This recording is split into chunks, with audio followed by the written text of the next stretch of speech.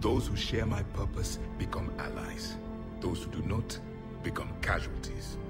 Nothing in our fight against the Reapers has been that cut and dried. Because you still have hope that this war will end with your honor intact. I do. Stand in the ashes of a trillion dead souls and ask the ghosts if honor matters.